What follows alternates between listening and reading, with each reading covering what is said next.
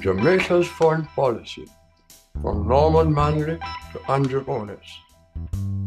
A Red Radio journalist, Michael Jarrett, writing in the Jamaica Daily News 9 June 1978, made the following observation. To hear some Jamaicans discuss their country's foreign policy is embarrassing. The ignorance which exists is unbelievable.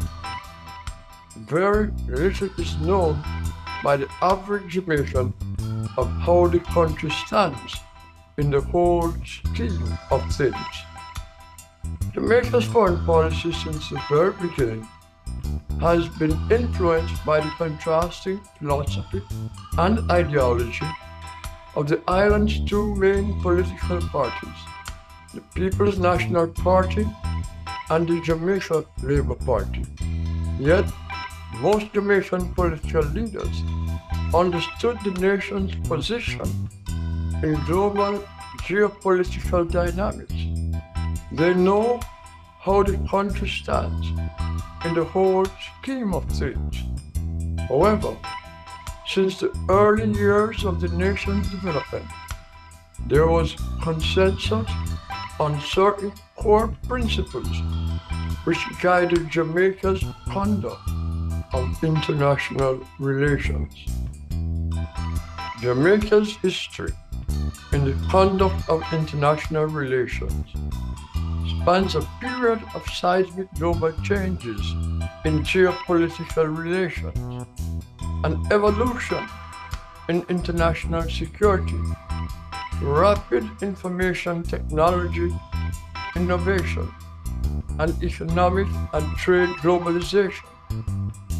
A period which saw a fiercely politically contested Cold War, the fear of nuclear annihilation, transition from bipolar superpower, rivalry to a dominant unipolar world, and back to world dominated by powerful economic blocs and intense geopolitical rivalry.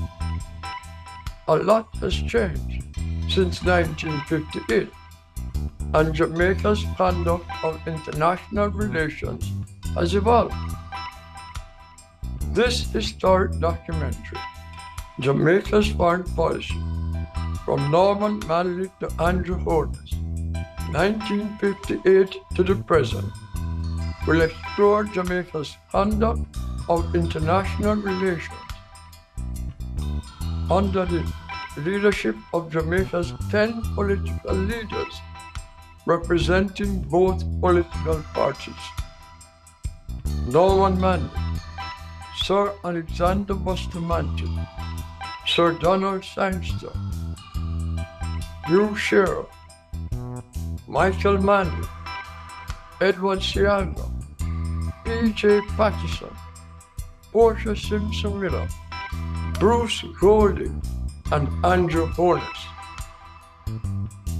Two former prime ministers and a specially selected group of past and current foreign affairs participants and practitioners and international affairs experts are invited to participate and share their perspectives on the conduct of international relations by successive Jamaican governments. This historic perspective of Jamaica's conduct of international relations will be of great value to international relations researchers, educators, students, and the man in the street. and it will serve as a valuable resource for foreign governments in understanding Jamaica's unique role in the conduct of international relations.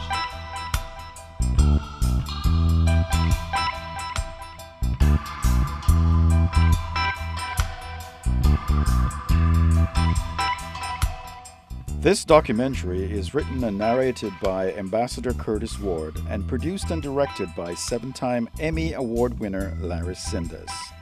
To support this project, contact Curtis Ward, executive producer, at attorneycward at gmail.com.